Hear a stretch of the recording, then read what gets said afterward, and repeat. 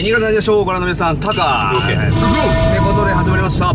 キャンプです、今日は。やっと来たねで、今回は、どういうキャンプするかというと、おもてなしキャンプという名目で、私、タカが、洋介拓郎をおもてなすという企画でございます。おい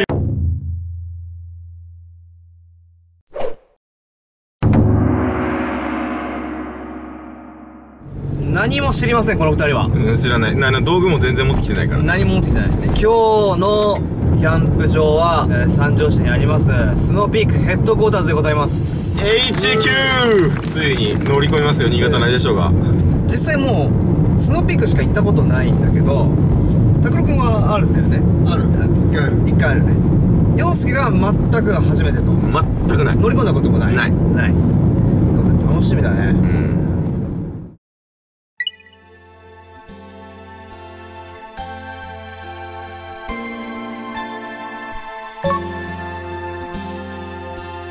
キャンプはもともと釣りが好きで新潟県いろいろ行ってるんだけど俺が行くあの村上の笹川流れってとこは最寄りのコンビニまで30キロぐらいあるんですよ。で飯も食うとこも全然ないしいやカップラーメンぐらい食えたらいいなと思ってキャンプ屋さん行ったのがきっかけで初めて買ったのがツーバーナーってものなんですけどキャンプ別にしようと思ってない。2回目行った時に勢いで買っちゃったんです。まあ一番最初に買ったテントが今日ある予定のスノーピークのランドロックアイボリー本当にマジで買うつもりなのマジで。まずスノーピークにした理由はアフターがすごいしっかりしてる。本当は一番最初スノーピークか小川で迷ったんですよ。でも小川だと本社大阪とか関西の方だけどスノーピークだったらもうすぐ近く壊れたらすぐ持っていけるっていうその便の良さでやっぱりスノーピークを選んじゃってでそこからスノーピーク沼にハマってしまってこれもかっこいいあれもかっこいいあこれ買うとこれできるんだみたいなのをまんまと大好きになってしまう。そういうことね。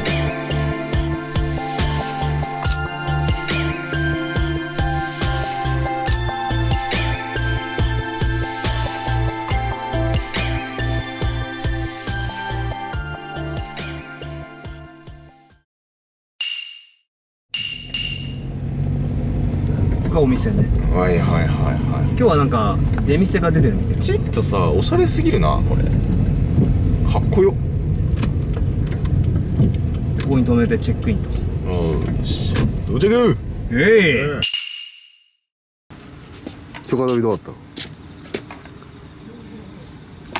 た？ナイス。ナイス。OK でいいですすかじゃあ。入っちゃって、はい。ってことですね、えー、やまあ無事チェックインも終わってまずヘッドコーターズうん。お店をね、見てもらおうと。はいはい思います。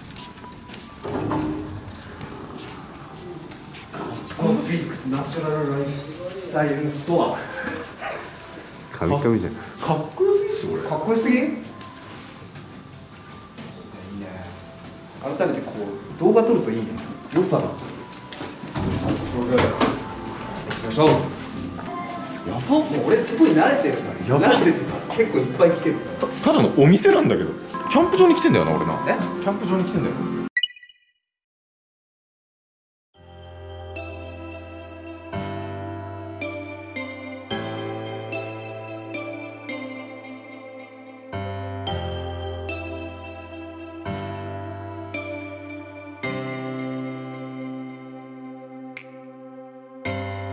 今年スノービークヘッドコーターズが10周年ということで、まあ、10周年アイテム4月に発売されたやつも結構いろいろ売ってて。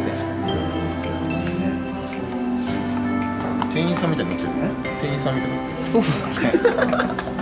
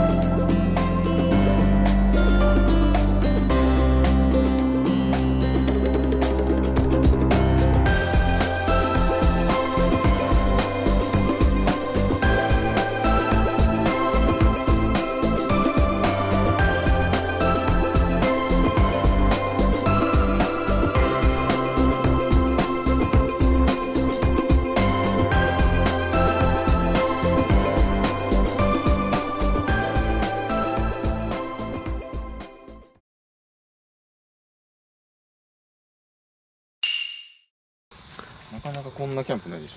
何していいか分かんないキャンプ。って確かにね。確かに。どうしてそうだよね。全然どうしていいか分かんないもん。キャンプやってんのにさ、あれ？これしたらねこれワンセットは全部組み立てて OK で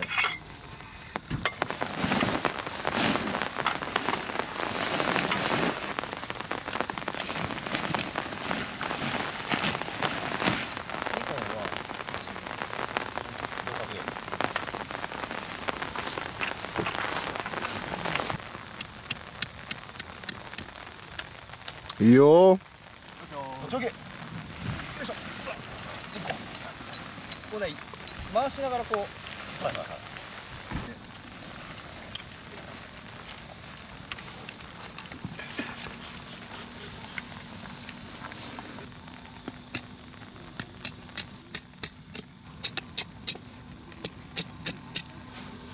すごいね。もうだってさ俺のと全部もう何もかも違うでしょ。違う全く違う。うん。タップ。完成。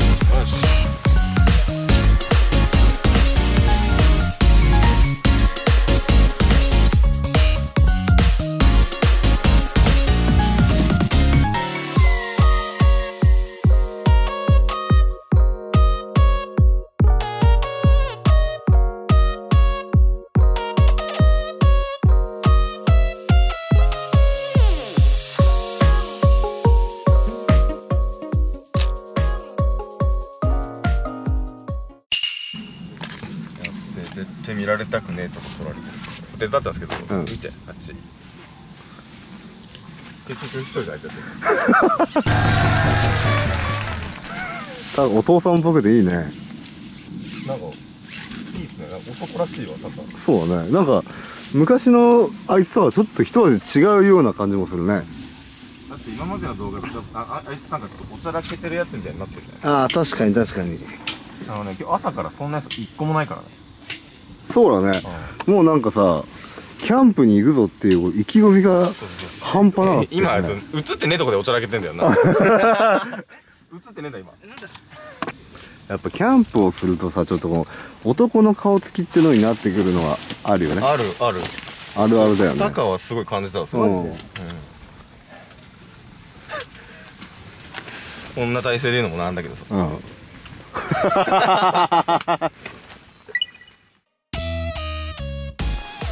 はいというわけでですねちょこっとテントの紹介をしていきたいと思います。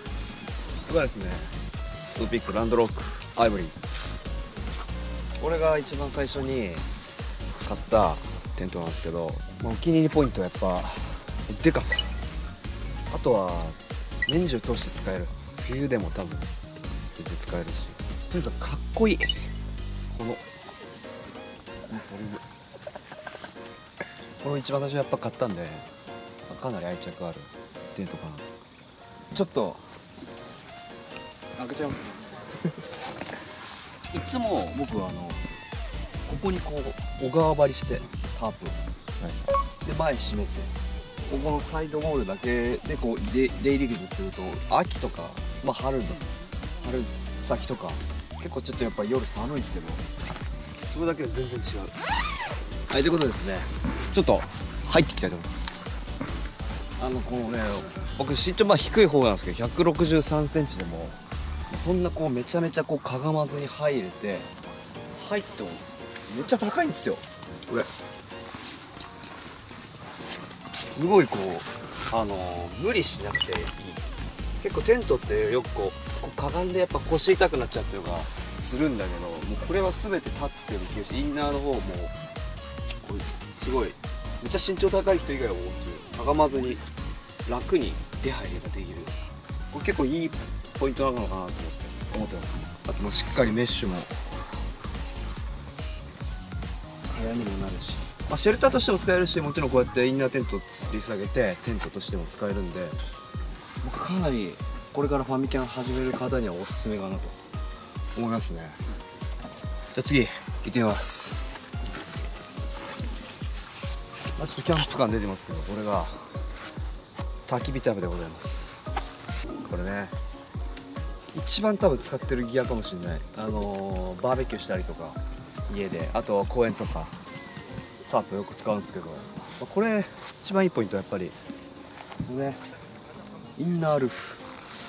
ポリコットンでなんでここの中で焚き火ができちゃう。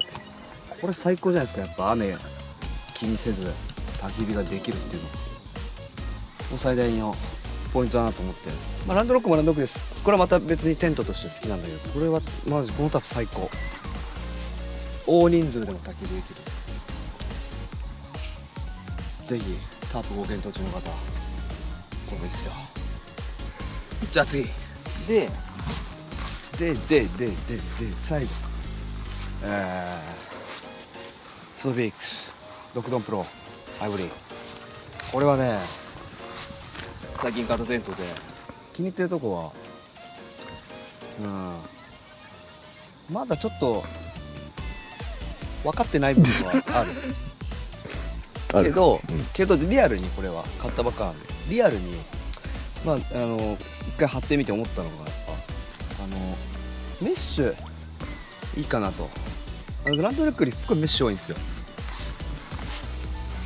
でランドロックよりも寝室がかなり広い。なんで買ったかっつうとやっぱ今日の、えー動画の内容でもあるようにそのおもてなしをしたいという。ね。例えばキャンプ道具を一切持ってないファミリーに一緒に連れてきてこっちに寝てもらったりとか仲間呼んでこっちで寝室で一緒に寝てもらったりとかっていうそういうそういう目的で買いました。あんまりそういう人いないと思うんですよね